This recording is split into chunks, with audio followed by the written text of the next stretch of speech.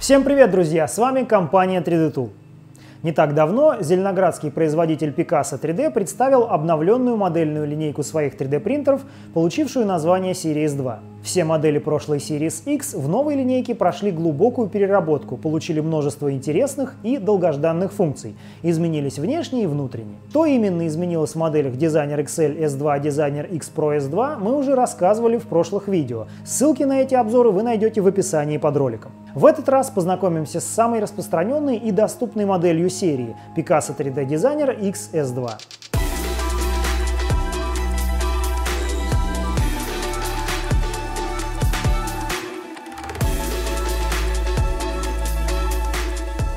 Начнем с внешнего вида. Как и X Pro, принтер стал заметно выше предшественника. Это было продиктовано увеличенной температурой внутри камеры и иному распределению воздушных потоков. Крепление трубки, подающей материал к печатающему блоку, тоже изменилось в угоду ломким материалам, дабы избежать крутых загибов при передвижении экструдера. На фронтальной части устройства появился 5-дюймовый сенсорный полноцветный дисплей с возможностью выбора языка через настройки. Забегая вперед, скажем, что вместе с ним поменялась электроника устройства, что позволило интегрировать Wi-Fi подключение. Слот Ethernet при этом никуда не делся и остался на своем месте. Все так же возле дисплея располагается разъем USB-карточки, однако теперь ее можно вынимать после загрузки задания и начала печати, так как принтер обзавелся внутренней памятью. На боковинах устройства появились дополнительные вентиляционные решетки. Внизу бросается в глаза глянцевая черная панель, скрывающая сенсорный дисплей. В остальном внешний принтер не изменился. Переходя от внешнего вида к функционалу, невооруженным взглядом в рабочей области устройства можно заметить дюзы нагревательных элементов. Это и не мудрено. Все 3D-принтеры серии 2 получили активную термокамеру с возможностью нагрева до 80 градусов. Дизайнер XS2 не исключение. В связи с этим критичные к температуре крепления элементы и узлы были заменены на высокотемпературные. Например, вместо вклеенных магнитов стеклянный стол крепится теперь на защелках, как дизайнер Classic. Со всеми этими изменениями слегка увеличился и вес устройства – 18 кг против 16,5 предшественника. Давайте подробнее рассмотрим обновленный интерфейс устройства. Конечно, внешний вид и в целом функционал нового интерфейса един для всей линейки, а в частностях различается только наличием или отсутствием функций, специфичных для двухсопельной печати. Тем не менее, им очень удобно пользоваться. Появились интуитивные для владельцев смартфонов смахивающие движения для выпадающих окон. Увеличились плитки пунктов меню и в целом улучшилась эргономика, наглядность и читаемость меню. Как и ранее, дизайнер XS2 обладает всем набором критичных вспомогательных систем системой автопродолжения печати после потери питания, системой контроля внешней поверхности, системой контроля подачи пластика, функцией автодиагностики и развитым деревом настроек, в котором вы можете при желании включить или выключить все вспомогательные системы. В меню сервис переехали самые важные часто используемые операции. Загрузки и извлечения пластика, манипуляции с рабочим столом, а также диагностики устройства и функции сушки пластика, ставшей более эффективной благодаря активной термокамере. Здесь же вы можете откалибровать устройство и провести необходимое обслуживание, например, замену сопла. В пункте меню «Настройки» спрятались настройки включения и выключения вспомогательных систем, выбор языка и сетевые параметры. Если говорить о самом процессе печати, он заметно упростился. С выходом новой версии Polygon X2.0, приуроченной к релизу Series 2, отправлять задание на принтер стало возможным по Wi-Fi соединению. Кстати, скорость передачи существенно увеличилась благодаря переходу на новую электронику. Но не забудьте выполнить чистую установку Polygon X перед использованием новых устройств, чтобы в полной мере раскрыть потенциал этой функции. Помимо удаленного управления, процесс отправки печати и ее запуск улучшился благодаря переработанным алгоритмам перемещения печатающей головки. Была увеличена скорость печати без потери качества поверхности детали. По сравнению со старым алгоритмом она увеличилась почти в полтора раза. Максимальная скорость печати Designer XS2 составляет 130 кубических сантиметров в час. Некоторые пользователи устройств Series X жаловались на не совсем удачную конструкцию подающего механизма печатающего блока. Старая конфигурация быстро изнашивалась при работе с высокоабразивными материалами, вроде стекла и углекомпозитов. На новых принтерах, в том числе и Designer XS2, этот узел был существенно доработан в угоду большей надежности для печати любыми, даже самыми суровыми материалами. Кстати, обновилась и база профилей. При подключении принтера к сети появляется появляется возможность загрузить новый пресет для существующих и новых добавленных материалов. Раз уж мы заговорили про материалы, давайте перечислим список филаментов, с которыми дизайнер XS2 теперь полностью или частично совместим. Компания делит весь спектр доступного филамента на три категории. Базовые материалы с эксплуатацией в температурах до 90 градусов, ABS, PLA, ASA, PP, TPU, PG, HIPS, которыми теперь можно печатать на весь размер рабочей области, не боясь деламинации и усадки. Инженерные материалы, выдерживающие свыше 150 градусов. ПА 6, 12, 66, АБС, ГФ, ЦФ, поликарбонат, ТПУ и производные. Эти материалы позволяют печатать изделия с повышенными потребительскими свойствами. Конструкционные пластики с точкой плавления выше 300 градусов Цельсия. ПИК, ПЭК, ППСУ, Ультем с высокой температурой эксплуатации и лучшими потребительскими свойствами. При этом размеры изделий, которые можно печатать описанными материалами, сильно зависят от их категории.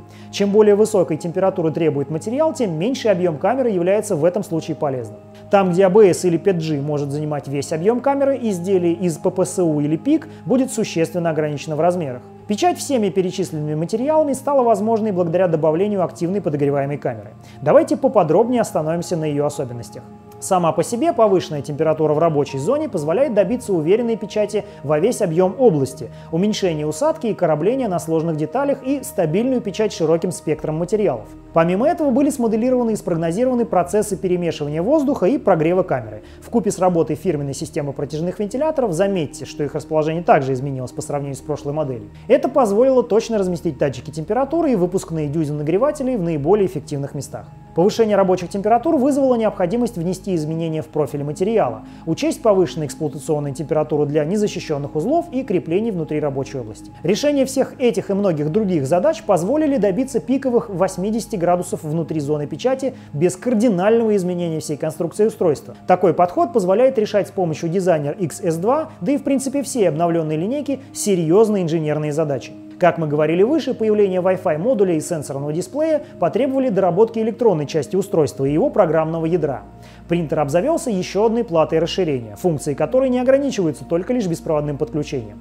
Очень важно заметить, что производство электронных плат устройства полностью локализовано в России а программное ядро было существенно переработано с исправлением старых узких мест и шероховатостей. При всем при этом энергопотребление устройства увеличилось несущественно. Мощность устройства составила 350 Вт в рабочем режиме и до 1000 в пике. Улучшилась комплектация устройства. Кроме защитных перчаток, которые пригодятся при работе с нагретой камерой, в комплекте появились запасные очистители, стекло, альтернативный адгезив для материалов на основе полиамидов и нагревательный блок 250 для низкотемпературных материалов, а также термопаста и запасная BTFE трубка для него. Кроме того, все модели линейки теперь комплектуются закаленными стальными соплами 0,5 мм. Механика устройства также претерпела несколько изменений, направленных на точность определения координат, удобство обслуживания и жесткость конструкции в целом.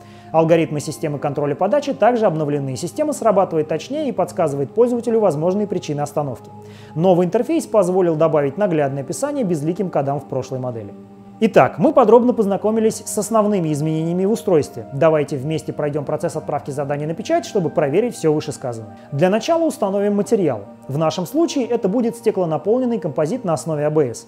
Выберем пункт меню «Операции с материалом». Далее «Заправить материал». Далее выберем наиболее подходящий профиль и нажмем «Заправить». После того, как принтер нагреется, нить пройдет через печатающий блок и устройство будет готово к печати. Обратите внимание на появившийся параметр нагрева рабочей камеры. Далее запустим функцию «Включить преднагрев» и посчитаем модель для печати в обновленном Polygon X. Откроем Polygon X, добавим нашу модель. Выберем быстрый пресет настроек из доступных. Программа сформирует файл PLGX и уведомит об основных характеристиках получившегося задания, времени печати и количестве используемого материала. Обратите внимание на функцию отображения элементов печати в левом выпадающем меню. Такой вариант отображения позволяет более качественно оценить нарезку модели и предотвратить многие ошибки заранее. Теперь переходим на вкладку «Сеть» и ищем наш принтер в сети. Как видите, задание уже отправляется на устройство. После окончательной загрузки печать начнется автоматически.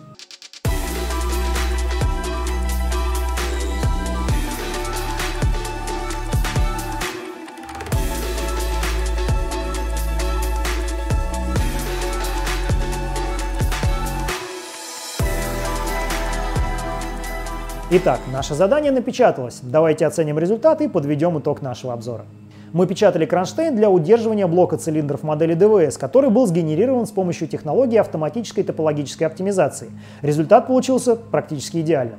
А используемый материал позволил добиться неплохой прочности изделия. Помимо этого, дизайнер XS2 умеет еще так и вот так. Кажется, пришло время подвести итоги нашего видео и сформировать некоторый вывод.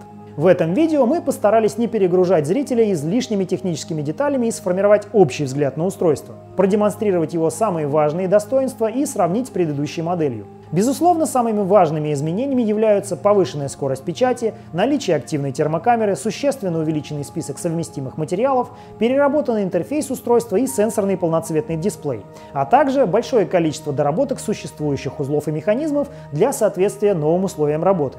Без лишней скромности можно сказать, что обновление как дизайнер XS2 в частности, так и всей линейки Series 2 в общем, безусловно удалось.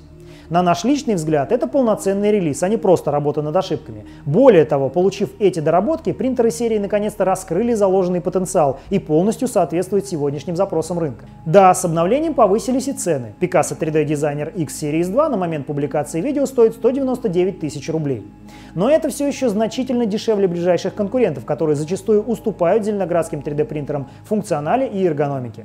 Подытожив, можно резюмировать, что Picasso 3D, как всегда, не только идет в ногу со временем, но даже опережает некоторые тренды, не просто предлагая новые продукты и идеи, но доводя существующие технологии до задуманного идеала. Пожелаем компании некончающихся успехов и с нетерпением будем наблюдать за следующими релизами. Что ж, а на этом у нас все. Большое спасибо за просмотр. Надеемся, видео было для вас полезно. Ставьте лайки, подписывайтесь на канал, если еще не подписались, и не забудьте нажать на колокольчик, чтобы не пропустить новые выпуски. До новых обзоров!